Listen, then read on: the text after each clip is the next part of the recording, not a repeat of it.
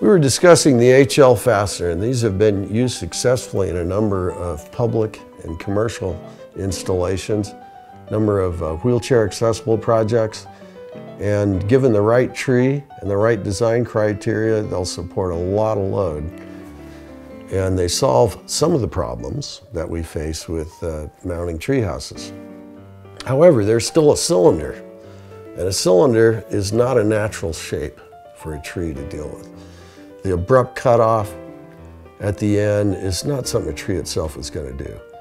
It's going to try to grow a different shape, and so when you study how trees attach their own limbs, what they do is base it on a taper system.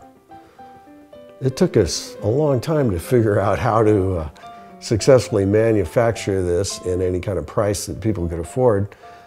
And so this taper angle allows this fastener to be installed into the proper base that you've created in the tree and to tighten it down and to retighten it down later after the fact and to extend it with any length extension for present or future growth.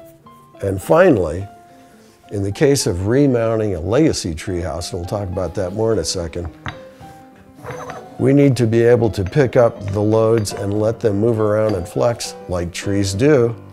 And we need to be able to mechanically put the new system up against the treehouse and pick it up. Let's talk about legacy treehouses a little bit. I'd like to think that any treehouse that, that has inspired a lot of good times probably has some value in continuing its existence. Very few tree houses have been designed for long-term life.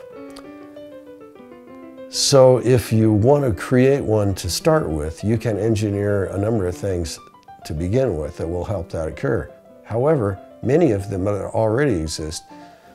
If you want a true legacy treehouse, you're going to have to do some of these methodologies to get it another generation or two down the road. Thanks.